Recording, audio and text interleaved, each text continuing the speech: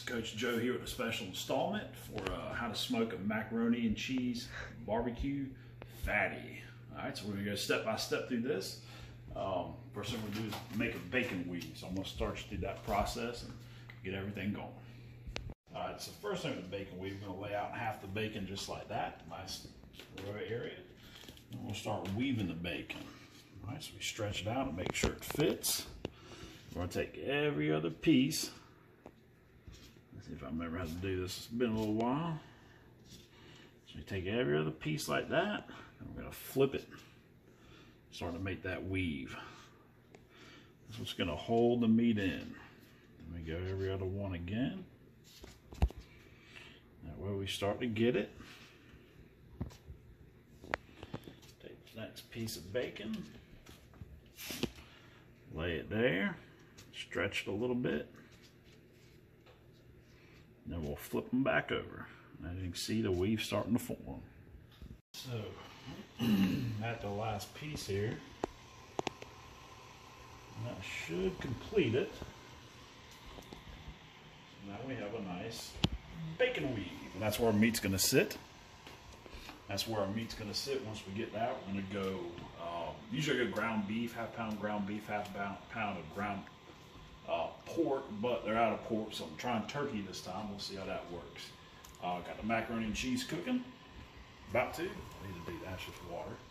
Got a new cameraman, Jackson. Uh, the old cameraman's now 19 in college, so I got Josie uh, on the camera right now, so she's learning. Make sure you follow her at TikTok. At, stop. Stop. What's your TikTok? No, you don't have to. Okay, well, make sure you follow me at Twitter, at Joe Lovier for more life coaching tips. So we're going to put in um, half pound of ground turkey. Still a little frozen, that'll be all right. Now we'll go a little skimpy on that, like American beef. And half pound of ground or ground beef, so we should get a pound. Um, mix it all together. I've done more before, I've done more before, but it it's too much. Um, Got to stick with just about a pound mixture, and that way it sits right in that bacon weave pretty good. So I'm mixing that up.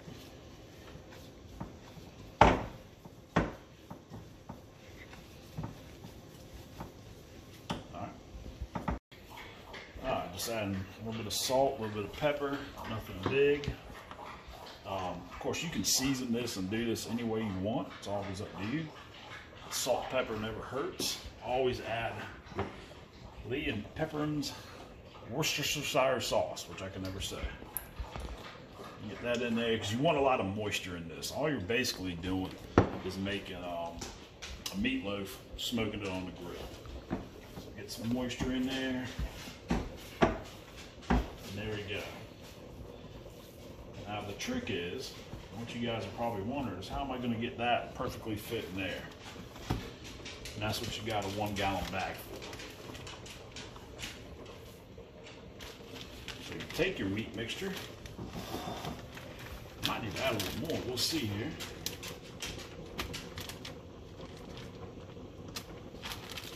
Put it in a gallon bag and look what it's going to form into. A nice perfect square.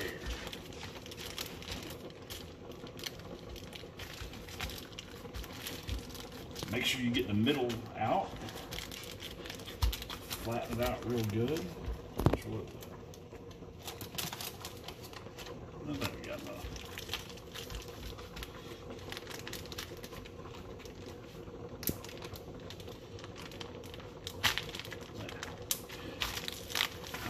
Flatten it out. I'm trying to be super quiet because Mrs. Lovier's upstairs sleeping. She worked last night on the front lines.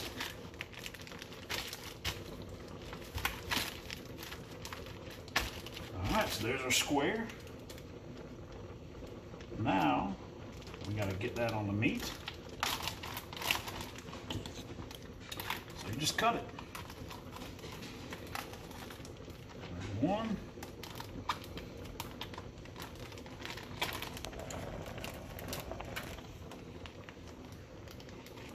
And there's two. So all we do now is take it.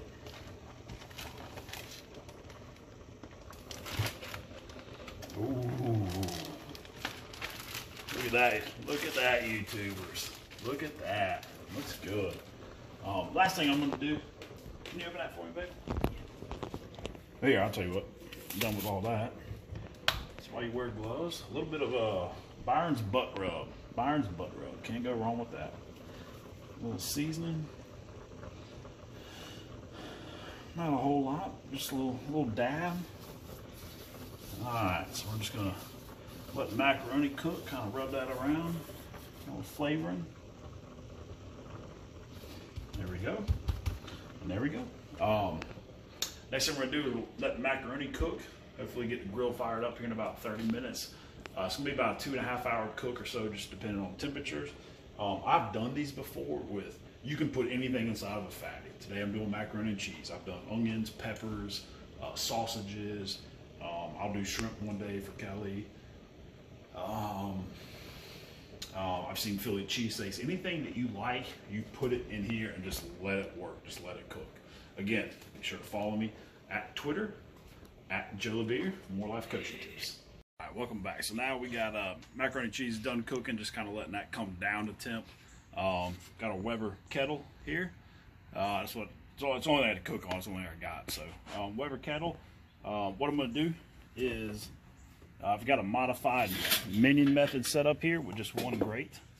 Um, so I only need about a anywhere from a two to three hour burn. So um, got these coals in here. I'm to light the coals in the chimney. All right, and just get those going. I've only got about 12 or 15 in there, so I can try to get that low temp. Um, so once these come up and they're ready to bolt, uh, roll, dump those right on top in this open space right here. Let them catch and burn. Just kind of go from there. I'll be using uh, hickory and applewood today. Um, just kind of you know give it that smoke flavor. So more of hickory than apple. I'll use apple a little bit. There we go. Um, so I'm just gonna put the paper towels in. I think my next investment is gonna be a um, butane lighter. So that way I don't even have to use a chimney for these small cooks. Um, I can just come right in, get about six or seven lit with that butane and just let it take off from there. So uh, we'll get this going and uh, should take about 20 minutes or so. Usually what I found out with less charcoal, it takes longer to catch um, than with a full basket of charcoal. There you go. All right, so Weber kettle set up. Love Weber kettle. Um, we'll go from there. Follow me at Twitter, at Joe Lovier for more life coaching tips. Got the grill going up there. Um, so now we got our macaroni. I've done it with homemade macaroni, and this is just cheesy shells. I actually find this to be more liquidy, more cheesy, so that's a good thing. Um, just gonna pop some in there, just like that. There we go. Get that with my hands, so that way we can have these for leftovers. All right, so there's our fatty. Got it nice. Let me get the. Uh, this is a super good sauce I found. I'm really on. It's called a Southern Red Barbecue Sauce by Melville's. Melvin's. Um, I don't know. That's the. Uh, that might be the old. Uh, what you call it guy from Maurice. I don't know. Um, it just kind of hit me when I said that. But anyways, it's good sauce. Um, you don't have to use sauce, but you know, again, this is a fatty is whatever you make it to be. We got a nice layer there. Nice layer there. Little drippings, a little flavor. Hey man, you can put ranch in that if you want to. It don't matter. That's up to you. Um, again, you just put whatever you want on there. That's your fatty. Here's the hard part. You gotta fold it now. Um, so I'm gonna try to use two spatulas here. Usually I have someone helping me, but again, Kelly's sleeping. I think Jackson might be sleeping at all, so we're gonna go two spatulas and just flop it and pray for the best. Here we go, one, two, three. Oh, baby. All right, worked out good, worked out good. All right, so we got that. I'm just gonna kind of roll it in like a, well, like a fatty, if you will. you don't know what that means, Josie. I don't know why you're laughing. So, all right, so we're gonna take this, roll it back. Bacon weave seems to be holding pretty decently. Cram the corners in. My lovely assistant has already got me out toothpicks because now it is time to toothpick the heck out of this thing. That way we can get it staying still, nice and stuffed good. Doesn't matter how you do it, you just want it all to make sure it stays together. And it will ooze out. I've never had one that didn't. Um, so sometimes the less stuff that you stuff it with, usually it holds together. Um, make sure when you do toothpick it, you go through the bacon. That's kind of the glue that holds it together.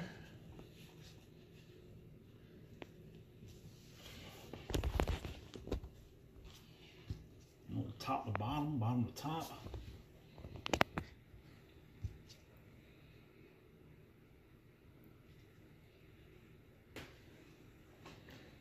A couple more in here.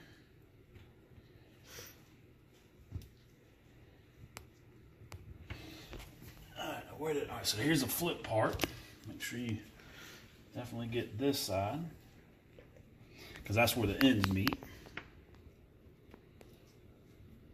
Tell you what, this is my first time using um, Costco bacon, and it looks, it's cut really good. if you get a bad cut of bacon, it messes your weave up and it doesn't look um, quite as good as mine does now. It's a pretty good looking bacon weave.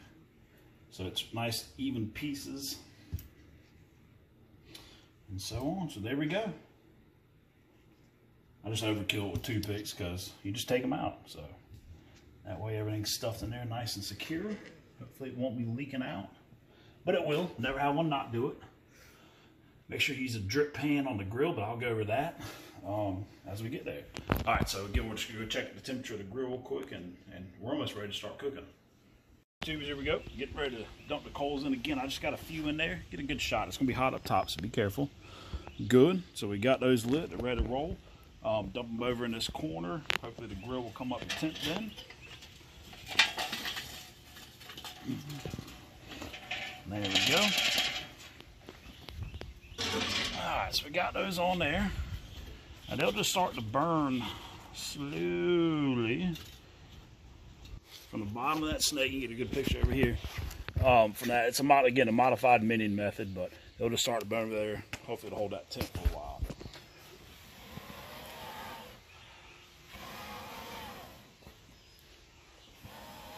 I'll catch now we're on fire. Pause it. That's it. All right, so we got a got a drip pan in here, so that way the meat will get on it. Put a nice piece of hickory right there. Let that catch. Let the grill come up to temp. Uh, put my temperature throb. I got my. Just kind of put that in there. A stand for.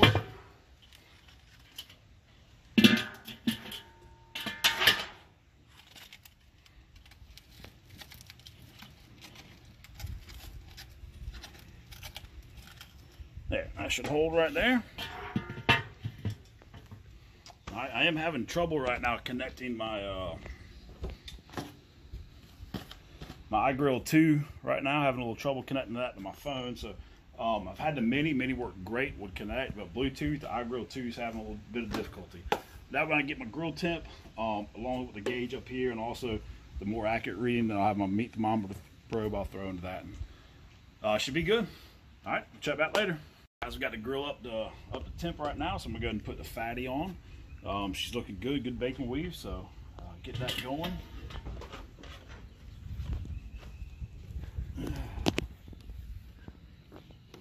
That right over the drip pan. If you do a probe, make sure you get it into the ground beef. All right, and there we go. Hickory in the back catching good. Everything's looking good. Um, so right now what I'm gonna do is uh, I'm still keeping my vents wide open on the bottom. And right now my damper on top is wide open too. Um, but I'll start adjusting temperatures as, as it rises and goes from there. So again, looking about a two to three hours smoke, depending on the temperatures. Um, this isn't the best grill to control temps, but it is one of the better uh, just basic grills to do it. If you have an offset smoker or something, that is a lot better. Uh, but anyways, I've gotten pretty good at it. Love it. So Weber finally got the um, the iGrill 2 to connect to the cell phone, so I'll be able to monitor, monitor temperatures. Um, this video goes out to Ashley Powell, May River High School. Um, good grilling buddies learning stuff, so you know hopefully you can use this and make some fatties and make them however you want. Again, follow me at Twitter at Joe Lovier. More life coaching tips. All right, guys, I was inside cleaning up, and my trusty iGrill 2 uh, thermometer told me we're at about 250, uh, 253 actually. So I'm gonna choke down a little bit here on the on the vent. So I'm gonna four, gonna go down just to bring it down a little bit. I'll close the damper just a little bit also, but as we see, the smoke's run out, so um, just add another piece of right there. And I always, of course, if I'm doing this, I always put the heat source on that grate so I can flip it up and get right into it. There's the fatty, looking good. It's only been about 20 minutes, so um, should be good. I'm actually gonna put that all the way up until it gets caught again, until the wood gets caught. Um, but that's it, just kind of monitoring and maintaining right now. Um, Brian Sanders, all right, got a coach with it. Uh, linebackers coach, um, one of the greatest coaches I've coached with. He's a young guy, does a lot of training, uh, football, basketball, athletic training. Trains my nephew Jake, Jake Peterson. What's up, buddy? Um, on Mother's Day, Coach Sanders somehow got himself a grill that his wife bought him, I believe. So uh, said he got his first big boy grill. So hey, man, here's something you can try. Coach Sanders, welcome to the club, buddy. All right, so as you can see, uh, you got a nice thin blue smoke line coming out of the top there. That's what you want. Um, perfect. Welcome back, YouTubers. All right, um, little snack in my teeth. Anyways, uh, about an hour mark into about 45 minutes. We got the temperature back down. Let's check it out. See how we're looking. Ooh, smoking along good. Smoking along good. Uh, there's an old saying that no, we're not getting that because that's an. Go ahead and get that. That's fine. That's inaccurate because it's right over the heat source. So it says 350. Take 100 off. We're right about 250, 230, 250, 240 is what the gauge is saying. Um, forgot what I was gonna say. But anyways, cooking along. Uh, remember follow me at Twitter at Joe Lovier for more life coaching tips. Welcome back, YouTubers. Uh, we're about an hour and a half into it. Um, temperature's holding steady about 250 internal meat temp right now is at 140 so we got about 25 more degrees to go. Let's get a sneak peek. What we got? Woo, ever looking good. Up oh, got a little flare up back there. That's because you took the lid off but that's fine. Um, i have added some apple in there. Um, so again we're going with mostly hickory with a couple chunks of apple. And now i'm going to choke that down to get that fire out. So i'm going to close the vents choke it down at the bottom. We'll let that fire come out, and a lot of gray smoke will come out, but that's normal. It'll clear out in about five minutes. Uh, gray's not what you want. Blue's what you want. Thin blue smoke line.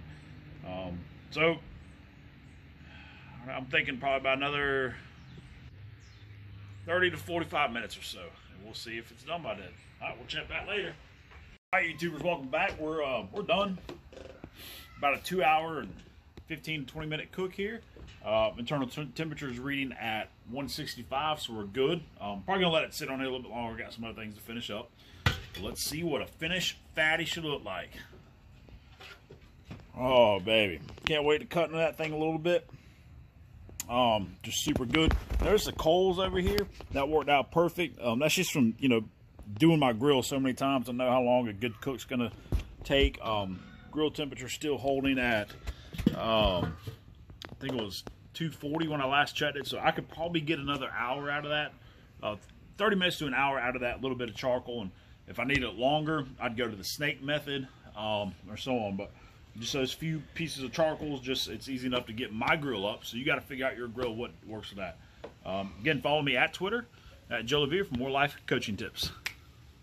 YouTubers, let's cut into it and see how it looks here. Um, I like to go nice thin cuts.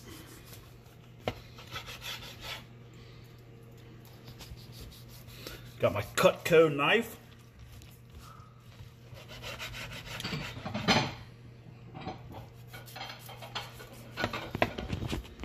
All right, let's see here. Let's see how that looks. Come here and get that camera shot. Oh, baby, good eats tonight. All right, again, thank y'all very much. Good tutorial on a smoked fatty. Again, put anything in it you want. Uh, remember to follow me at Twitter at Joe Lovier more life coaching tips.